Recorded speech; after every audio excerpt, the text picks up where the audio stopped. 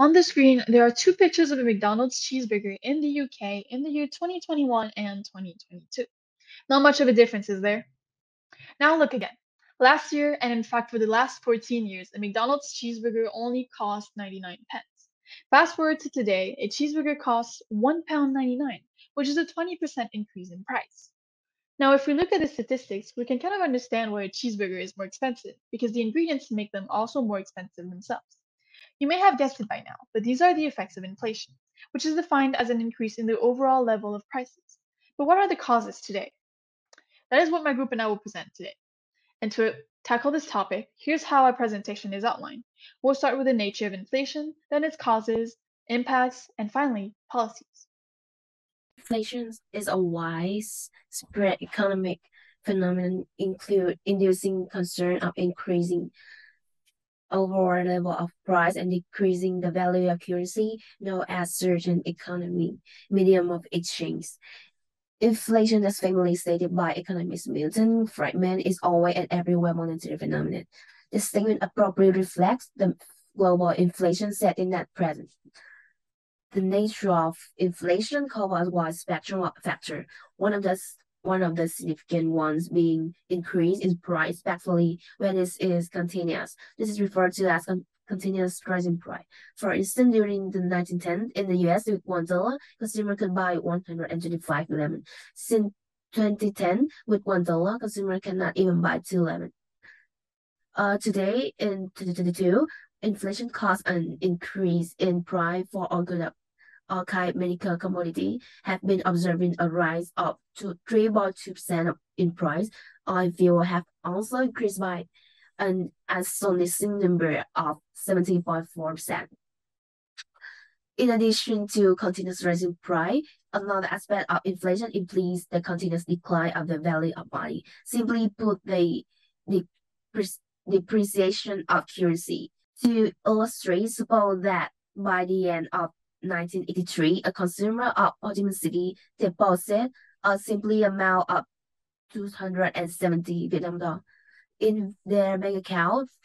31 years later, by the end of 2014, when seeking to withdraw their money, only 27 dong remain. Similarly to Vietnam, many other economies in war is experience depreciation of currency, which explains the nature of inflation. Thus, as Friedman stated, inflation is primarily a question of money. Its nature can be explained by continuous rise price and, con and continued depreciation of currency. Many economists have been arguing what really are the causes of inflation. The answer will vary according to these two different approaches. One, followers of the monetarist approach, like Irving Fisher or Milton Friedman, thinks that there is a relationship between the quantity of money and economic events. Oppositely, we have Keynesian approach, which is obviously named after its creator John Maynard Keynes. Keynesian theory does not directly suggest that money supply will affect prices. We'll go through Keynesian viewpoint first. This theory suggested that there are three main types of inflation: demand pull inflation, cost push inflation, and built-in inflation and each type is caused by different set of factors.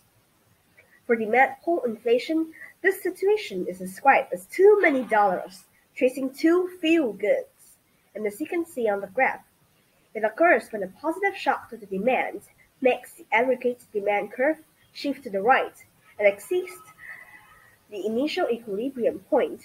The new equilibrium point is now moved higher, which means that price has increased and therefore the causes of this inflation are things that shift the AD to the right, such as increased government spending, a reduce in tax, or increased money supply, etc. The second type, cost push inflation. This occurs when the negative shock to the aggregate supply curve makes a shift left, unable to satisfy demand without rising the price. And there are many reasons why this inflation happens. Government minimum wage policy can play a role. When wages companies have to pay increase, production costs increase, and therefore prices are driven up. Supply chain disruptions that make raw materials and equipment cost higher also contribute to this inflation. For example, A global pandemic COVID-19 has affected production in every country, creating supply shortages and rise overall price. Natural disaster can also be a reason why because disaster events halt productions and raises the price of inputs. And the last type of inflation mentioned in Keynesian theory is built-in inflation. This type of inflation reflects the past and retains in the present. It is a self-made and adaptive inflation from those who expect the prices to rise in the future. It is the price wage spiral and occurs when workers, seeing that prices nowadays is rising, also want employers to increase their salaries and wages, and accordingly, to cover the increase in labor costs, companies increase the prices of goods and services offered to customers. We will now have a quick look at the monetarist theory of inflation, which is considered as opposing the Keynesian model and only explains long-run inflation. Essentially, monetarists believe that the speed at which the money supply grows or shrinks affects inflation. To understand this, we must also understand the quantity theory of money with the equation mv equal py. v is the velocity of money, p is the price level, y is the quantity of output, m is the quantity of money, meaning that the nominal GDP generated has to be bought with the effective amount of money available. So if you need to buy $100 worth of things, you need $100. So assuming that V is stable, Y is fixed by factors of production and technology, when central banks print more money, M, the price level P fluctuates. So when central banks increase their money supply rapidly, a high rate of inflation risks to occur. So that is another cause that explains inflation today. Hello teachers, now I will discuss about this the impact of inflation. Um, inflation engenders diverse effects both in the social and economic aspects. Below we discuss both the positive and negative impacts of uh, inflation on society and the economy. So firstly, I will mention about the social impacts. In terms of social impact, the primary consequences of inflation is the increased cost of living. As mentioned previously, inflation costs a rise in the, in the price of goods or services. Therefore, the cost of living will increase because the cost of necessities like gasoline, food, housing, and so on are increasing as well. As price of goods and services increase, consumers will have to spend more to buy necessities and luxury they want. As such, as such, um, social social impacts have uh, affect to uh, the poor disproportionately. For instance, consumers of low income who earn sticky wage due to the high level of competition in the markets experience harsher living conditions during high inflation periods. Low income households have a higher marginal propensity to consume uh, a big proportion of their overall income is spent on necessities. Meanwhile, middle-income and high-income households and consumers tend to purchase items they want and other luxury, meaning that they would have a less of a cushion uh, against the increased cost of living. Furthermore, inflation also widens gap between the poor and rich bringing in many disadvantages for lower class households. So the next one, nevertheless, inflation also holds a social benefit to some degree. As mentioned this in the principle chain, the chain principle of marketing, people face a sudden chase up between unemployment and inflation because inflation discourages saving, um, discourage saving when currency devalues. It pushes consumer spending and investment. As a result, when uh, a credit demand right, businesses who would adapt and recruit more employees to better satisfy the rising demand. As a result, as inflation rise, unemployment falls. However, not that straight up is only true in the short run. As for economic impacts, Inflation reduces the effectiveness of the mechanism of exchange in the economy. It is common knowledge that inflation tends to devaluate currencies. With a higher inflation rate, the values of its currency would be more devalued compared to other nations. Take Zimbabwe as an example. Their 100 trillion Zimbabwean dollars, just equal to 40 cents of in the US uh, in 2019. As a result, nations with higher inflation typically weaken their national currencies with other. When the currency power depreciates, fewer people want to hold the currency and they will invest their assets in other currencies where it be more valuable, profitable. Uh, the exchange rate between inflated nations compared to others would pose a gap, making it more expensive to import goods and services. In addition, when inflation makes the currency devaluate, it drives the price of domestic goods and services to increase.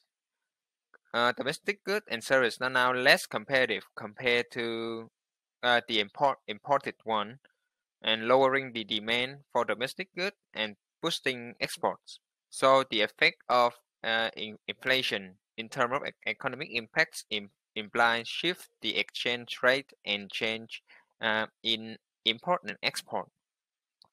Inflation can be seen to have mostly neg negatively impact. However, it does contribute positively to boosting investment and lowering the cost of borrowing. As mentioned, uh, when money devaluates, investors try to fight back with the uh, impact of the inflation by uh, investing the assets into illiquid assets such, such as stocks, bonds, or real estate. Uh, the main reason is to lessen the loss of value of assets. Investors uh, want to invest in other form because when the inflation is high, investor will uh, get more uh, investment return because the invest rate also rise as well. Uh, for stock and bond, they can uh, invest in inflation index bonds, uh, which give a return higher than the inflation rate when it is held into maturity. Uh, for real estate, because the price of real estate also rise when other price increase due to inflation, landowners they do not have to worry about the the currency their currency is getting uh, devalued, they will profit more from uh, inflation. And lastly, debtor benefit due to inflation. When people borrow money from the bank, they need to pay annual interest.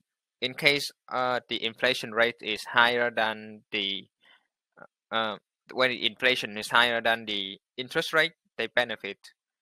They will pay uh, the amount less valuable than the real value they uh, borrow from the bank. Although inflation has both pros and cons, most governments want to lower inflation rates and have been issuing monetary and fiscal policies to help curb inflation. Many modern economists are monetarists who believe that inflation can be best controlled by regulating money supply within the economy in this case, contractionary monetary policies would be applied to lower the money supply and lower consumer spending.